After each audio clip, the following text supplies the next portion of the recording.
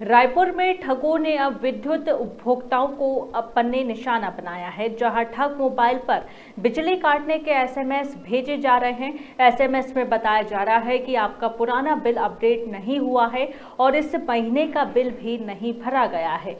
इसलिए आपकी बिजली आज काट दी जाएगी। आप तत्काल विद्युत अधिकारी से संपर्क करें। इसके साथ ही विद्युत अधिकारी का मोबाइल नंबर भी भेजा जा रहा है।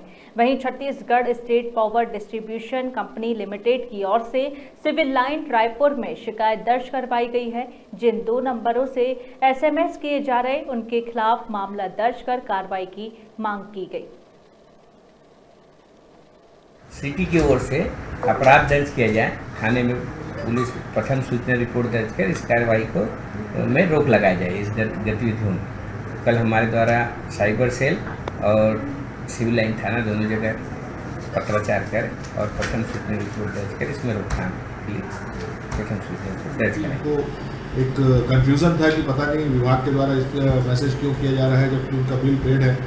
इस संबंध में जब उन्होंने सी में शिकायत की और उस शिकायत की गंभीरता को देखते हुए कार्यपालन यंत्री प्रवीण कुमार साहू के द्वारा थाना सिविल लाइन में प्राथमिकी दर्ज कराई गई है, जिसपे भारतीय दंड विधान की धारा 420 511 के तहत अपराध पंजीबद्ध करके विवेचना में लिया गया है और उस मोबाइल धारक की तलाश की है।